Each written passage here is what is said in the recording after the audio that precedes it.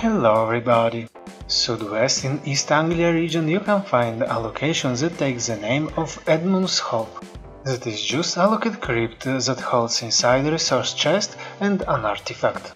To get inside you need to watch at the tower you can see on the right.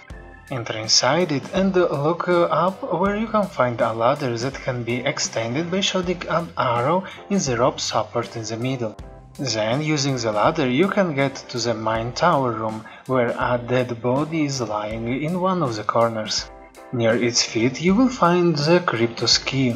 Collect it, then go to claim your reward. That is not only a simple chest, but also a treasure hoard map.